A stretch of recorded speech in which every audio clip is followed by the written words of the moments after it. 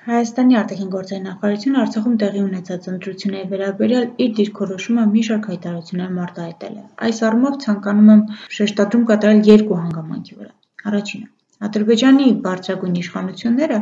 Արցախում տեղի ունեցած ընտրությունների համատեքստում խիստ գնահատական հնչեցրեցին մարդու իրավունքների եվրոպական մի շարք կառույցների հասցեին, և սա, բնականաբար, պատահական չէ, քանի որ մարդու իրավունքների եվրոպական կառույցների կողմից այս տարվա փետրվարին Ադրբեջանում տեղի ունեցած ընտրությունների վերաբերյալ գնահատականը փաստեց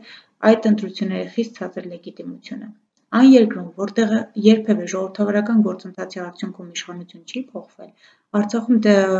մրցակցային և ժողովրդավարական ընտրությունների արդյունքում իշխանության ձևավորումը պետք է հանգեցներ նյարդային արձագանքի։ Երկրորդ, Ադրբեջանը փորձում է Արցախում մարդու իրավունքների դեմ ուղղված իր այս արշավին մասնակից դարձնել միջազգային հանրությանը։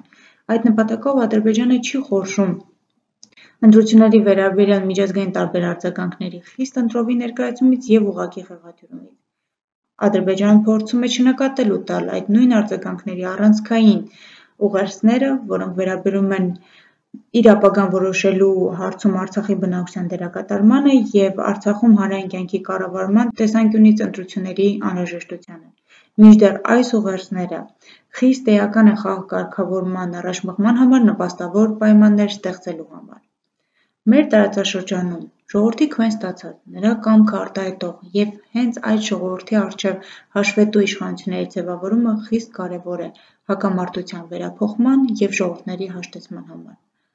Արցախի ժողովուրդը մարտի 31-ին և ապրիլի 14-ին այս ուղղությամբ կատարեց հերթական կարևոր քայլը։